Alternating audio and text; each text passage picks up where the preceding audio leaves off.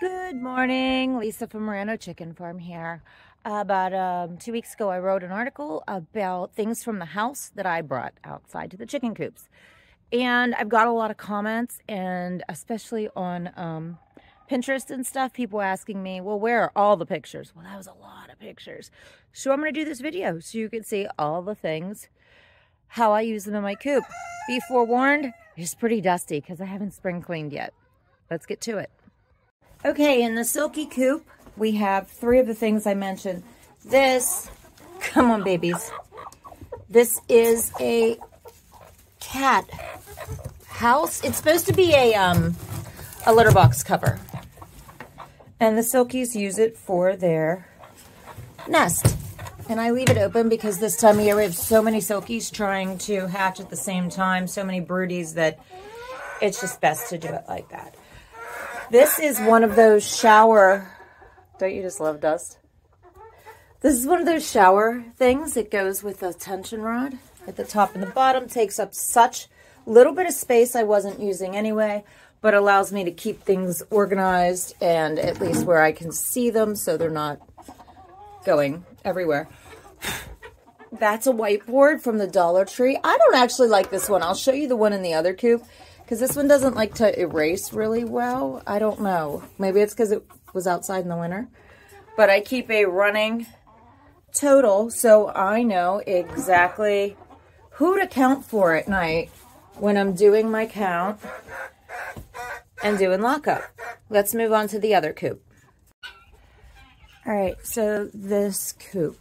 I talk about things from the Dollar Tree. That, this, um, those came, oh, that one in the corner.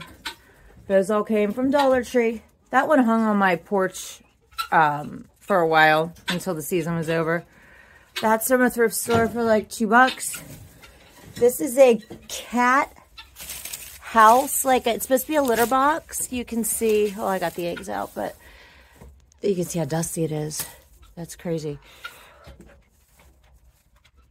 But the Guineas and the chickens lay their eggs in that.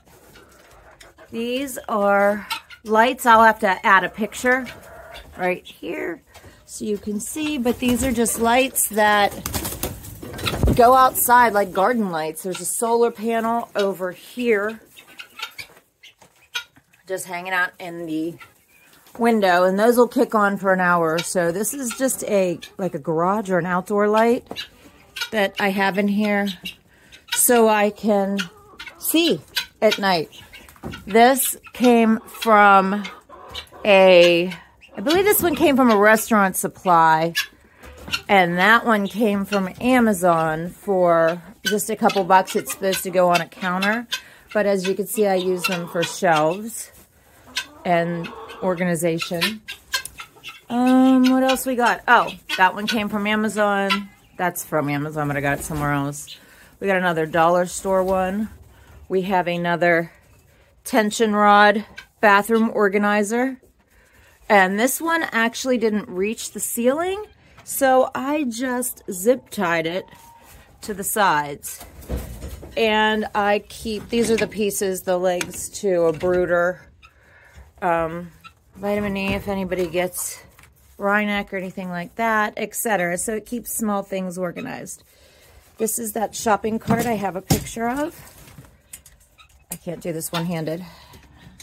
And I have new bags of shavings. I'll go ahead and throw one in there. That way I can tote it around really easy. These aren't really cheap. You can buy them at um, thrift stores and stuff, though. People take them there when they're done with them. You pay like five bucks for them.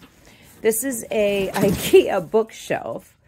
I used to in a bookstore, but I had so many bookshelves afterwards that over the years I've ended up repurposing them for other things. So if you have an extra bookshelf at home and or in your home and you know aren't using it and have space in your coop, this cleared out a lot of the mess in my garage because I can store winter in winter in summer I can store the winter bowls this is an extra heat plate.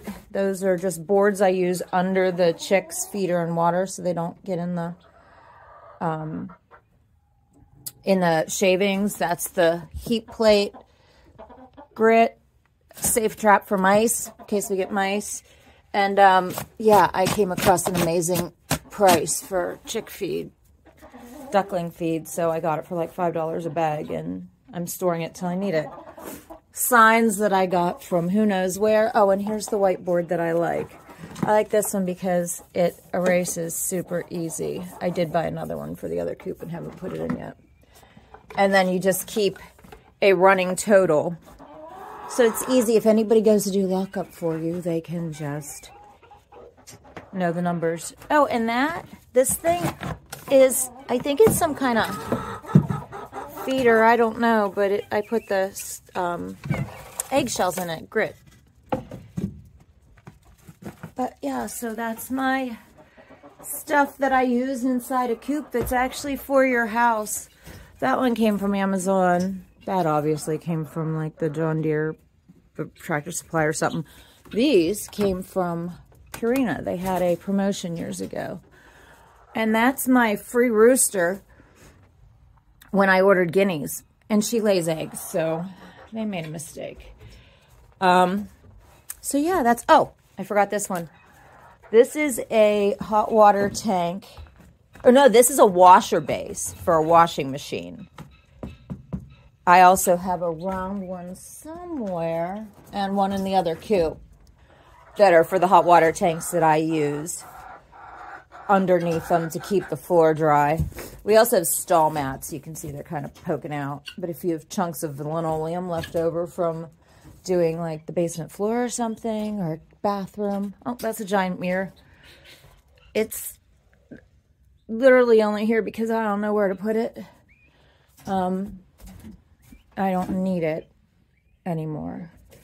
But look, she's sitting there looking at herself. She they they will sit there and look at themselves all day long. So that's a fun thing. If you have an extra mirror, prop it up where the or, or well, it should be nailed down. I have it propped between there so it can't fall. But if you can uh, fasten it so they can't knock it down, guineas especially will spend hours looking at themselves. So, storage. Excuse my mess.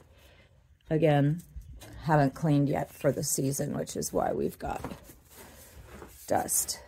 But, oh, there's the scratch container. It used to have cashews in it. That's from, I have another one here. Pretzel Nuggets has mealworms in it. Um, oh, and that one is a, that was a cat litter box similar to this one over here, except the bottom came in broke and I went to send it back and they're like, just throw it away. So I put it under there and I have a couple chickens that go in there.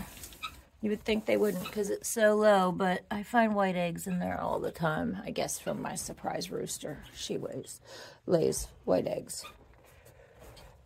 So yeah, that's all the different things I put in my coop that you would use in your house. Cute, right?